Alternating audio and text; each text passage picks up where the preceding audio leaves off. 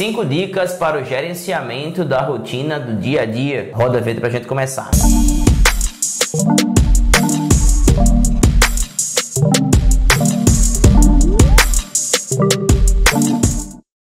Olá, seja muito bem-vindo ao maior canal de educação profissional do Brasil. Meu nome é Paulo Costa, fundador do Papo Curso. No vídeo de hoje, nós vamos falar sobre gerenciamento do dia a dia de trabalho. Eu vou dar cinco dicas práticas aqui para você colocar no seu a fase diário, né? Que você vai ter um dia a dia na empresa melhor, consequentemente ter mais resultado e, claro, poder crescer dentro da empresa que você trabalha, tá certo? Então, anote esses cinco pontos porque vai te ajudar muito. Antes de eu entrar no conteúdo raiz do vídeo, já deixe seu like nesse vídeo. O YouTube entende que esse conteúdo é relevante e começa a entregar para mais pessoas. Então, recado para você também, nosso site de cursos grátis, o papocursoonline.com.br e o link está na descrição para você. Lá você pode fazer cursos gratuitamente para melhorar o teu currículo e deixá-lo cada vez mais atrativo, tá? Dica número 1 um, para você gerenciar melhor o seu dia a dia de trabalho é que você tenha uma lista de atividades. Tenha uma lista de afazeres de tudo aquilo que você vai resolver naquele dia. Então, todo dia quando você começar a trabalhar, você vai antes de iniciar a primeira tarefa, você vai começar já a planejar. O que, é que eu tenho que fazer hoje? E aí você vai listar tudo. Tenho que fazer isso, tenho que fazer aquilo aquilo, tem que fazer aquela outra coisa. Você vai listar tudo que você tem que fazer. E aí, depois que você listar, você vai ordenar pelas atividades mais importantes. E minha dica é: sempre comece pela atividade mais importante do dia. Salvo caso as outras atividades que você faça, uma, uma outra, seja muito rápida. Se é algo muito rápido que você vai fazer, por exemplo, mandar um e-mail, é algo que você manda ali em 5 minutos, 10 minutos, você já faz logo, já mata aquela atividade do seu dia. Mas se for coisas demoradas normalmente, né? Então você sempre comece pela atividade mais importante, porque se alguma coisa acontecer no seu dia, não der para você cumprir tudo, mas ao menos você cumpriu aquela atividade mais importante do seu dia que vai gerar grandes resultados para você lá na frente ou para sua empresa. Cinco dicas práticas para o gerenciamento da rotina de trabalho. Dica número 2: mantenha o celular longe ou no silencioso. É muito comum as pessoas trabalharem com o celular do lado. Eu digo para você, isso vai diminuir muito a sua produtividade. É importante que você, se puder, deixe o seu celular num canto, deixe ele dentro da gaveta, porque o celular na maioria das vezes só vai te atrapalhar. Se você precisar consultar alguma coisa, você vai vai lá nesse local e vai usar o teu celular e depois coloca de novo na gaveta. Isso vai fazer com que você não fique distraindo no seu dia a dia do trabalho. Então é importante que você siga essa instrução para você não ficar toda hora perdendo a sua atenção. Porque você sabe, né? Às vezes a gente pega o celular aqui para olhar um número de alguém, acaba já entra no Instagram, no automático, já começa a ver algumas coisas. Daqui a pouco quando você olha, passou 10 minutos, passou 15 minutos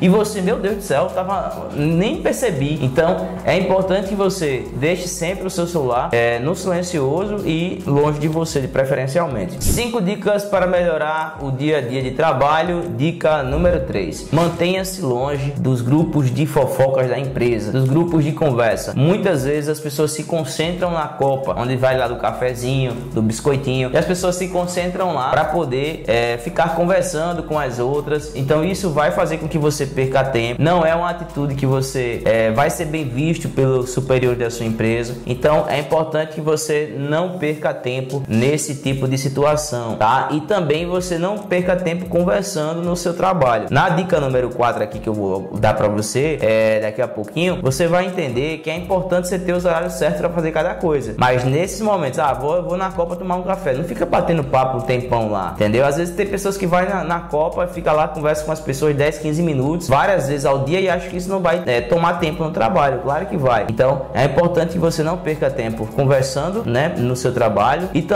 é, conversando demais lá na Copa ou em qualquer lugar que as pessoas se encontrem. Cinco dicas para o gerenciamento do dia de trabalho. Dica número 4: respeite as pausas para desopilar. Você vai ter pausas durante o seu dia de trabalho, né? Então você vai geralmente começa a trabalhar aqui ó, às 8 horas, dá um exemplo, tá? Começa às 8 horas e aí você vai lá até as, as 12, né? Só que ah, até as 12 horas você vai dar mais uma pausazinha ali, 9h30, né? Você vai no meio do, do intervalo, você vai lá tomar um café ou, né, fazer algum lanche, alguma coisa do tipo. Nesses momentos, sim, você desopila. Você não é para ficar indo na copa ou ficar conversando com os amigos nos horários que você não for determinado do seu lanche ali, do seu intervalo pro lanche ou para você desopilar um pouco, nem no horário de almoço. Então, geralmente na empresa vai ter um horário para você desopilar 9h15, 9h30 e você vai almoçar e depois lá para tarde das 15 horas mais ou menos você vai ter mais uns 15 minutinhos ali, 10 minutinhos para você fazer alguma atividade. E, e tem algumas empresas que liberam esse time, né? Tem outras empresas que que é mais, mais chato com relação a isso e você não tem como obrigar a empresa a ser diferente, tá certo? Então é importante que você respeite as suas pausas para desopilar, tá? Então naquele momento você vai lá, desopila tranquilo, mas nos momentos de atividade você é, respeite o tempo que você está trabalhando para a empresa para gerar resultado, que é o que a empresa precisa, entendeu? Você sempre tem que entender, você tem que tratar a empresa que está trabalhando como se ela fosse sua, porque futuramente quando você colocar o seu negócio, você não vai precisar ter trabalho para você já desenvolver hábitos de sucesso, você vai, vai estar desenvolvido e você vai conseguir implementar esses hábitos na empresa que você vai trabalhar e vai ser a sua futura empresa, caso seja seu objetivo. E se caso não, você vai estar sendo cada vez mais valorizado dentro da empresa que está trabalhando. Agora você tem que ter percepção para entender isso, ter percepção para entender que a tua empresa é uma empresa que valoriza esse, tra esse trabalho, valoriza a tua, a tua dedicação ou é uma empresa que só vai te sugar. Essa percepção é importante. Cinco dicas para o gerenciamento de dia de trabalho. Dica número 5: mantenha seu espaço de trabalho organizado. Não é porque você está no meio do furacão, né? Ou seja, está trabalhando o dia inteiro, que seu espaço de trabalho tem que ser um espaço organizado. Longe disso. Seu espaço de trabalho tem que ser um espaço organizado. Valorize a organização, isso é importante, vai te ajudar a você é, crescer cada vez mais dentro daquela empresa, certo? As pessoas gostam de trabalhar com pessoas organizadas. Então, aqui, por exemplo, antes de eu começar a gravar conteúdo para vocês, eu gosto sempre de fazer o quê? Organizar minha sala, deixar a sala organizada, sabe? Meu ambiente de trabalho é um ambiente organizado. Eu não gosto de bagunça, porque o ambiente diz muito sobre a gente. Então, é importante que você organize o seu dia a dia ali, o seu local de trabalho no dia a dia, para que você tenha mais produtividade e, claro, passe uma boa impressão para quem te visita. Isso é fundamental, tá certo? Aqui foram